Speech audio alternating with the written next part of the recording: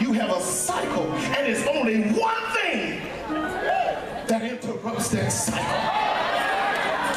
I had to plant a seed.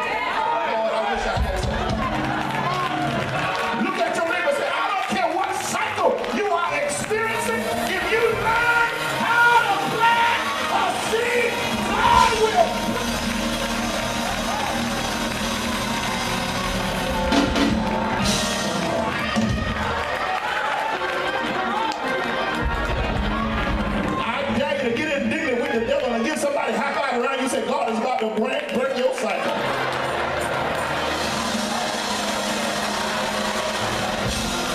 You've been in this place long enough. And your mountainside has been rough.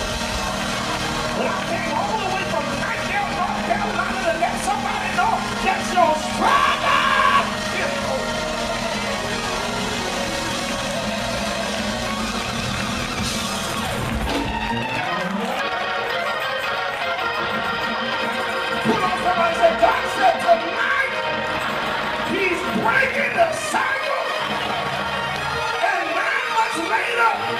she released the promise.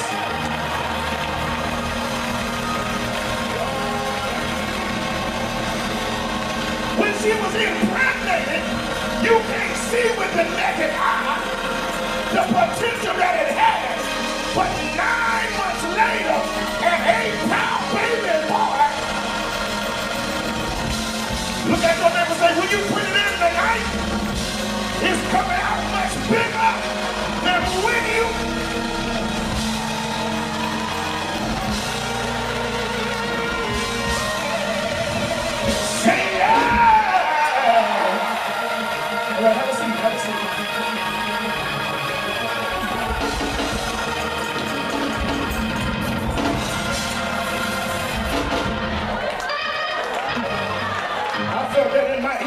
I got somebody to do I this and say, break, break, break, break, break, break.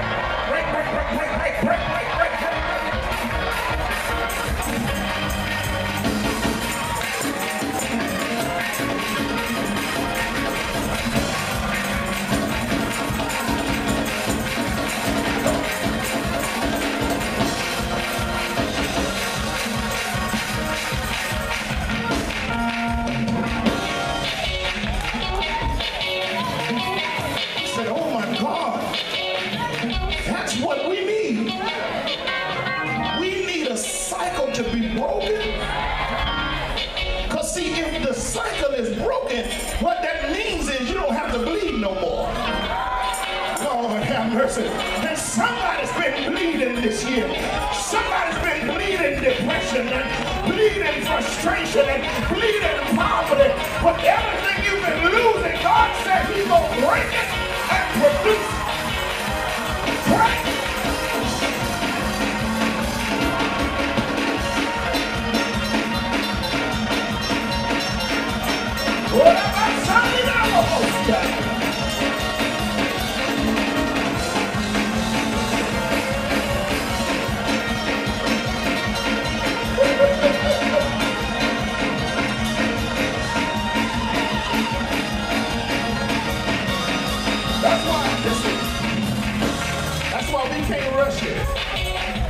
Because there's two things that you need for your promise.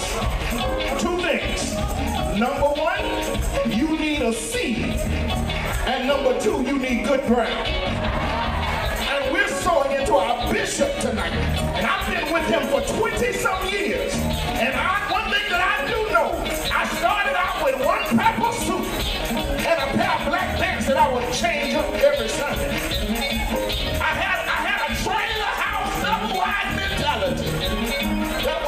Extent to what I wanted in life.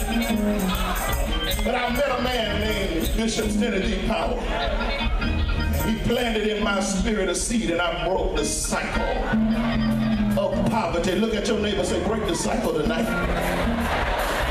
See, see, the issue is we allow the devil to lull us to sleep or fill our bladder up during the offering time, and we miss what God intended to do during the course of the worship service. You listen, in order to break the cycle of, of, uh, uh, of, of famine, you need some type of, uh, of seed, food seed. In order to break the cycle of sickness, you need to be healed. But in order to break the cycle of poverty, you need a seed offering.